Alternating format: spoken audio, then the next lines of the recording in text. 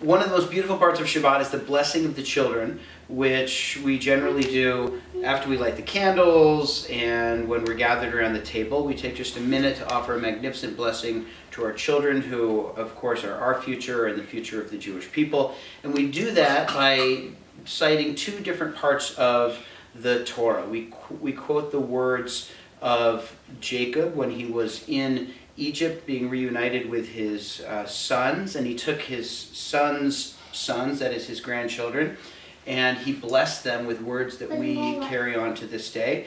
And then we also bless uh, we also bless our children with the words that the high priest Aaron, that is Moses' brother, used to use to bless all of the children of Israel. And Akiva and Amanda Leader are going to show us how this they do the blessing in their family. Yesimcha Elohim ke'Ephraim v'Menashe. Yivrecha Adonai v'shmerecha. Kein yiratzon.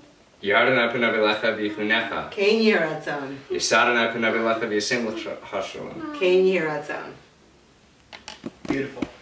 And Amanda was sharing with me earlier that um, she's seen this done where the children, when they're a little bit older and they're able to do this, the, the children will say Ken Yehiratzon back to the parent who's blessing him, which is beautiful. Ken Yehiratzon means basically may it be God's will. I'm going to repeat to make sure that the Hebrew is clear. So when you are blessing boys, you say Yisimcha Elohim Ka'Ephraim V'Kamanashe, which means may God bless you like Ephraim and Menashe.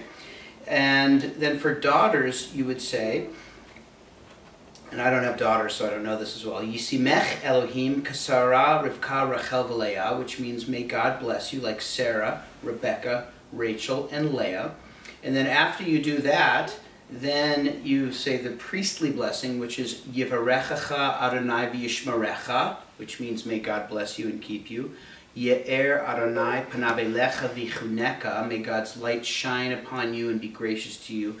Yisa Adonai panavelecha v'yasem lecha shalom. May God lift up God's face to you and bless you with peace. Thanks.